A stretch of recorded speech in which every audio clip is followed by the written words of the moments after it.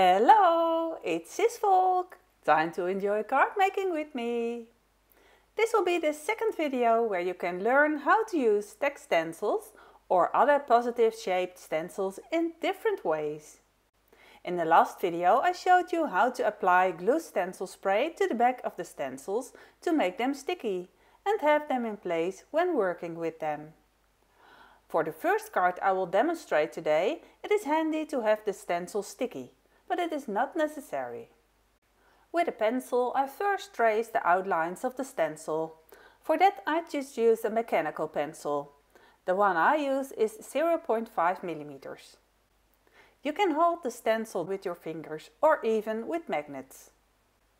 When tracing you will have to hold it if you didn't stick it down. When I was younger I remember always slipping when tracing stencils. Partly the issue for that is that you are pressing too hard on the pencil and that you might be tracing in an unnatural direction. Better turn your paper and stencil or change the direction you are drawing lines in. Advantage of drawing with a pencil is that you can still erase errors you made. To lighten the pencil marks I use a kneading eraser. Such an eraser is useful to lighten pencil marks, to remove parts, but not completely, so we can still see the lines. This outline text I will color and do it in a way that it has dimension and shading. The pencils I use are the Derwent Lightfast pencils. They are oil based. The paper I'm using is Craft Emotions color cardstock, meant for alcohol markers and pencils. Here is already a card I made. For this card I used the same Derwent Lightfast pencils. I colored with brown at the bottom of the letters and red at the top. And I also added smooth shading. Let me show you how easy it is to make this. I start coloring with a red pencil. From all letters I will trace the top outlines with this red pencil. And to make these lines I press firmly on the pencil. Keep turning the pencil to keep the point sharp enough. You see we first only trace the outlines of the top of the text. And we will do the same for the bottom outlines of the text with a brown pencil. Next we will color the letters the following. Give harder pressure on the pencil closer to the outlines and press softly in the middle of the letters.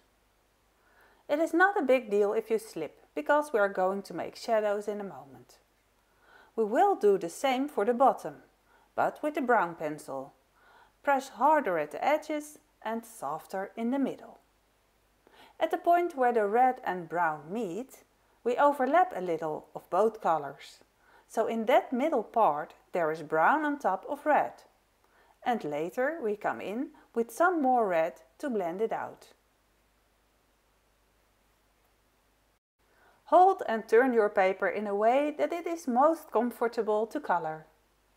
Give light pressure when blending colors together. It's better to do several layers of brown and red than to color one thick layer all at once. I now will show how to make this easy shadow around the text. On the card example I everywhere made the shadow with a brown pencil. I will show it on the other woof text so you are not distracted. Everywhere around the text you make an even border of pencil coloring. Thinking about where shadows are needed can be a brain teaser. And there are many ways to make shadows, but this is by far the easiest one.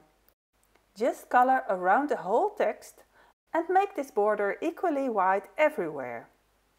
Later in the video I will show you another surprising way to make a shadow.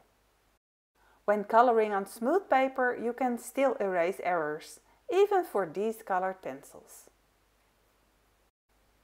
Okay, now I have colored an inside and also an outside. Of course you can do the in and outside on both texts. To smoothen the coloring, or so to say to blend it out, we will be using odorless turpentine, especially for oil colors. And we need a paper stump, a paper blender, we will dip it in the turpentine. I close the jar immediately to not spoil anything. My paper blender still has some color on it from the last time I used it. I can wipe the color and excess turpentine on a paper towel. With this paper stump I can smoothen the shade. Easily to do and with great smooth effect. See? This product I use to blend I call odorless turpentine, but in English you might know it as Gamsol. The product is to thin your oil paints and painting medium. It is also suitable for cleaning your brushes and it is a healthier alternative for the normal well-known white spirit turpentine. The same we can do for the coloring of the letters. We can smoothen the pencil lines. However, do this carefully. You will easily lose the highlights in the middle because you can now smudge the thicker pencil lines and smear it into lighter parts. Smear your paper blender onto a paper towel every now and then to remove the excess pencil color from it. Best is to blend from light to dark and clean the paper blender in between.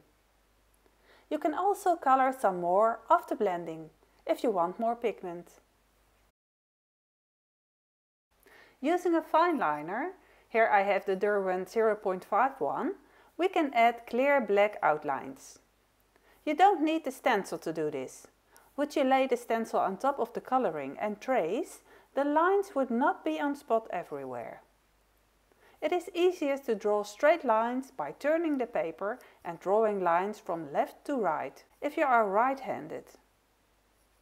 And draw lines from near to far. I will also color the shade for the top word with a red pencil. And also blend it out with the blender. Well, actually, don't do this blending after adding the fine liner because you will smudge your black lines with the turpentine with or Gamsol. My red shading now gets grey smudges. The paper stump I cut with scissors to keep a sharp point. What you can do next is decorate the background by using more stencils. For example, this poop shape. Just drop it everywhere on the background and be sure to overlap the text and also the edges of the paper.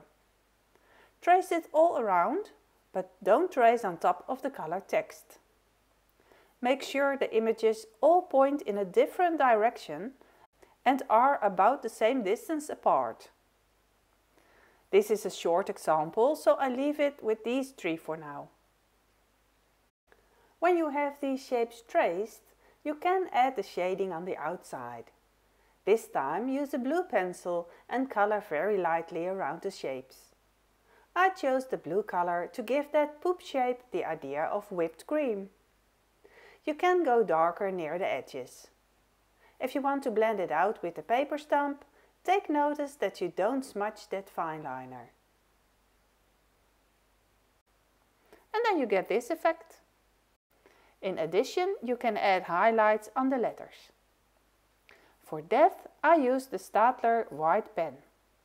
On the right top sides of the letters, you can draw some stripes to get a shinier effect. On my finished card, I colored in thicker layers. That is why my text is so vibrant. I also stamped the dog with the dog stamp set and colored it in with the same Derwent oil-based Lightfast pencils. I colored many layers and blended the pencil layers before adding the fine liner. On the nose of the dog I added some glossy accents. Isn't he cute? Let's now continue with another text and do a more quick and easy but surprisingly beautiful technique. To make it easier for myself, I sprayed the back of the stencils with glue stencil spray. Check out my first video to see how. You can find a link for it in the descriptions. I now place the stencil on the paper. I can still move it easily before I firmly press it down. If I wanted, I could measure and have it spaced out perfectly. Only for now, I trust on my eyeballing. First, let's just trace the stencils with a fine liner. I still use the same Derwent 0.5 fine liner. At the moment I am tracing on a blank piece of paper. But if you want some color, You can of course also take colored paper or ink blend some colors in the background. You can even make a nice gradient blend of different colors for the background. For now I keep it simple white and you will see that that will also be great. Do you see how much easier the tracing of the stencil is when you glued it down with stencil spray? Then you are also much less likely to slip. And should you slip, first check if it is in a place where you might later be able to stick part of a stamp over it, like a paw, a tail or a ball of wool, or a bone for example. Don't immediately give up when things go wrong. You can also always try to erase that mistake with a Tombow sand eraser. Now I can easily remove the stencils. If you want, you can color them in with pencils, or markers, or paint, or even with tiny stamps if you have any. You could also cut them out and glue them raised on a nice background. But for this example, I will show you how to make a quick and flawless easy shadow around the text. Choose which side you want the light to come from. I choose the light to come from the top left, so that means the shadows should come from the bottom right. And therefore we want to draw at the bottom. Place the stencil back on the same text, but shift it 1 or 2 mm downwards and to the right, just a tiny bit. And stick the stencil to the paper firmly. So just stick back the stencil and position it slightly to the bottom right. The same distance for each stencil of course. I zoomed in some more for you to be able to hopefully see how to do it. To prevent making mistakes, I will first trace the shading with pencil. The kind of pencil is not important. I just use a slightly thicker 0.7mm mechanical pencil now. I now only trace the spots where that stencil falls over my previous drawings. And that is where we want the shadings to be, on the bottom right. So you only draw lines on the outside of the text shape. Places where there are lines outside of that stencil you do not trace, because if you would do that you would draw on top of the text and will get confused about where the shadows will be. If I did it correctly, I now trace the line everywhere at the bottom and right overhanging parts of the text stencils.